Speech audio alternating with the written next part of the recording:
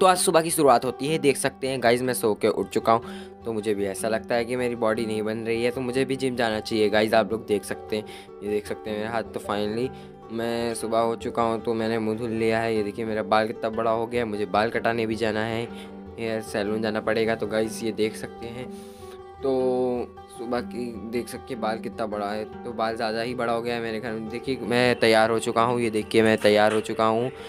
आप लोग देख सकते हैं, ये मैंने येलो कलर की टी शर्ट ब्लैक कलर का शूज़ और ब्लू कलर के पैंट पहन चुका हूँ। ये आप लोग देख सकते हैं, रिक्शे पे मैं बैठ चुका हूँ, ये देख के मैं जा रहा हूँ अपने दादी के यहाँ। तो गाइज़ ये देख सकते हैं हैं ये अस्पताल के पास का सीन है ये।